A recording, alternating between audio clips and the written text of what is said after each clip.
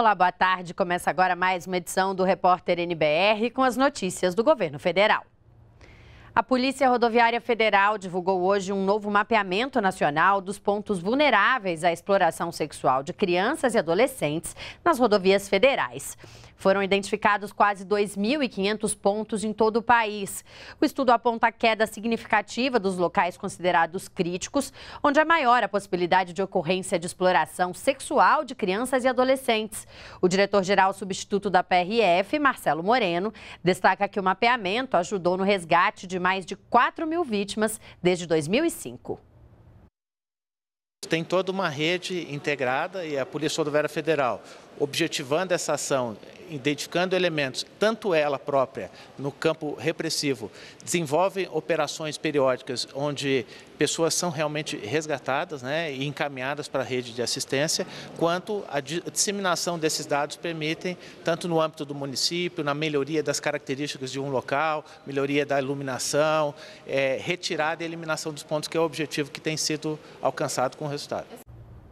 O ministro das Cidades, Alexandre Baldi, anunciou que o governo estuda a criação de um programa para regularizar a ocupação de prédios antigos e garantir moradias seguras nos centros de grandes cidades brasileiras. Ele ressaltou que o novo programa vai ajudar a evitar tragédias como a do prédio que pegou fogo e desabou há duas semanas no centro de São Paulo.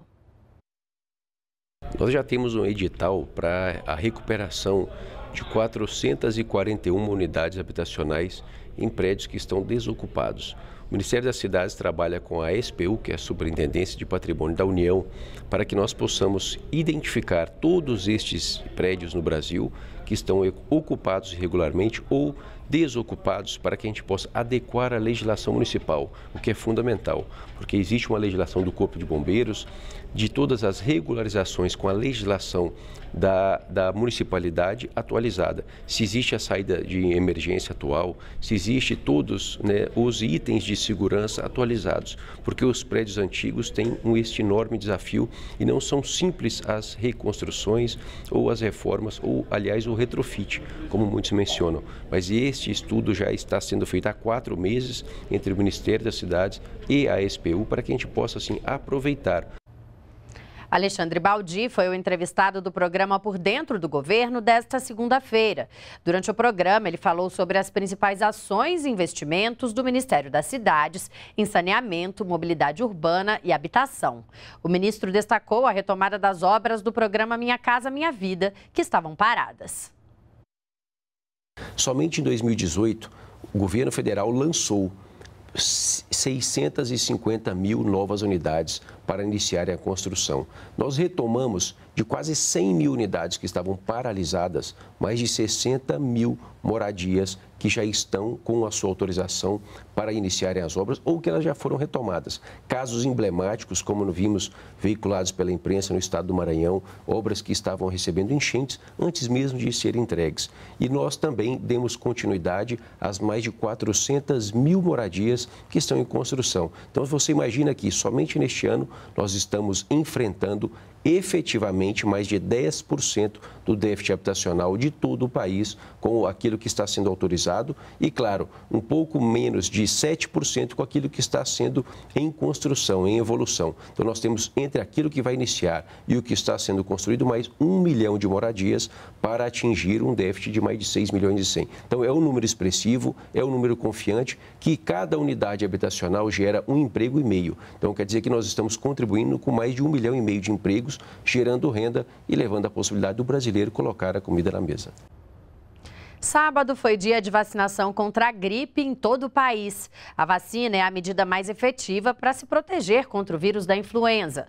A campanha termina no dia 1 de junho e a expectativa do Ministério da Saúde é vacinar mais de 54 milhões de pessoas. A manhã de sábado começou assim neste posto de saúde. Muita música, animação e até o ministro da Saúde, Gilberto Ock, entrou na dança para chamar a atenção da população sobre um assunto sério, a vacinação contra a gripe. Jéssica conta que acordou cedo para levar a pequena Raíssa ao posto. Ela não queria perder a oportunidade de vacinar a filha e o sábado era o único dia disponível da semana. Ajudou muito no sábado, porque na semana a gente trabalha o dia todo e só chega à noite, então no sábado foi uma maravilha. Assim como Jéssica, muitos pais aproveitaram o dia para vacinar os filhos. Sara, de apenas 4 anos, deu o recado.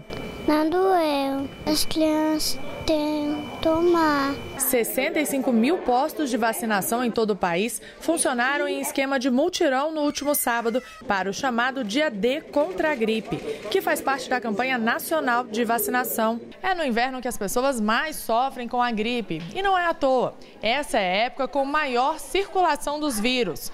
Por isso, todos os anos a campanha começa um pouco antes da estação para proteger contra os três tipos tipos de gripe mais graves no hemisfério sul: o H1N1, H3N2 e o influenza B.